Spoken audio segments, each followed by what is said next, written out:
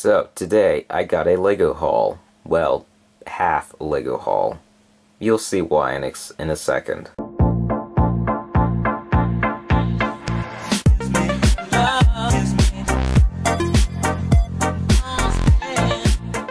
So, first off, we got a thing from Lego, the Lego company.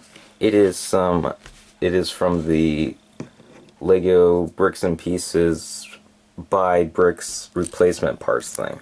So, we got some, we got a, not some, we got a black tor legs, we got a my sig figs torso, so we got a spare basically. We got a a um, black beard, which is used by Sensei Yang. Let's just put it like that, just there. Uh, then we got a wheelchair uh, chair piece from the newer Fun in the Park set. And, oh yeah, we got some wheels, which go with it. I got two, of course, because, you know, you can't just have a wheelchair with one wheel. You gotta have the two. And then we got this uh, bicycle kind of wheel piece mini thing, which is the and there we go. We basically have a almost full minifigure and a wheelchair. So now we have a custom Lego Mr. Gold. It came from eBay, from a, uh, well, eBay seller, of course. As you can see, it is very nice and shiny and stuff, you know. You can, well, it's kind of hard to show the print. You can kind of see the face printing from this kind of angle, sort of.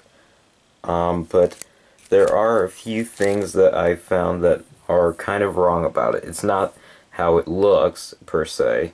It's how it functions. Also, there's randomly another hand that the seller put in the packaging. I don't know why, but anyways, that's not a major concern.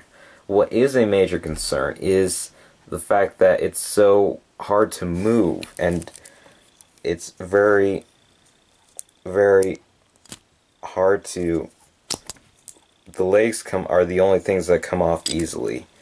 But the hat well and the stick of course. But the hat and actually this is the first time the head actually moved but now it's stuck in that position. As you can see it's very very hard to actually move around the pieces. In fact it's hard to move around the arms.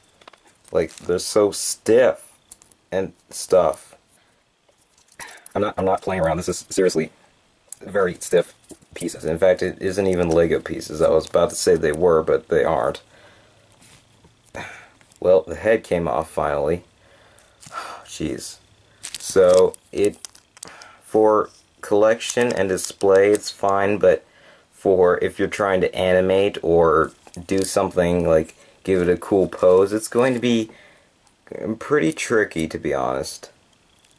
I don't know why the pieces are so stiff, probably because of the gold painting or whatever, but they are nonetheless. So, yeah. Uh, just beware when you're wanting to buy it for, you know, a. Look, you do you, but, you know, I'm warning you in advance. It's very. The pieces are very, very stiff. But other than that, it is a very cool, shiny uh, realistic looking Mr. Gold. So that is it for this video. If you enjoyed it, don't forget to like, comment, and subscribe. Bye!